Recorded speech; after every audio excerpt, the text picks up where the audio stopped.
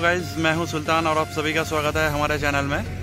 तो जैसे कि पता ही है कि संडे को संडे राइड के लिए निकला था। हालाँकि मैं अकेला हूँ तो इसके लिए अकेला ही निकला था। तो ज़्यादा दूर तक गया भी नहीं था। तो वो रही अपनी ब्लैक पैंथर और अभी निकलते हैं घर। और गाइज़ हमेशा याद रखना, क्योंकि कल यूट्यूब पे मैं कुछ वीडियो देख रहा था एक्सीडेंट वगैरह के, जो बाइक एक्सीडेंट थे।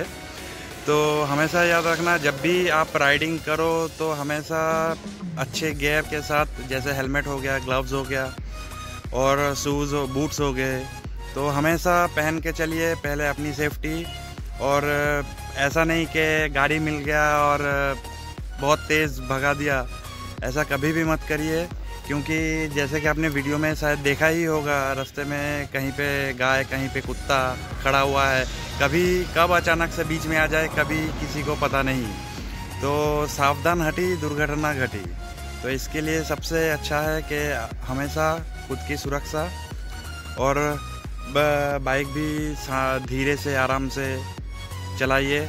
कोई दिक्कत नहीं है। दस मिनट लेट तो लेट। हाँ कभी कभार मज़े के लिए मैं भी चलाता हूँ। कभी कभार मज़े के लिए मैं भी चलाता हूँ, लेकिन एक लिमिट में। ऐसा नहीं कि यहाँ से एक घंटे की राइड है तो भाई एक घंटे एक सौ के सौ के ऊपर भगाते रहो। ऐसा कभी भी नहीं।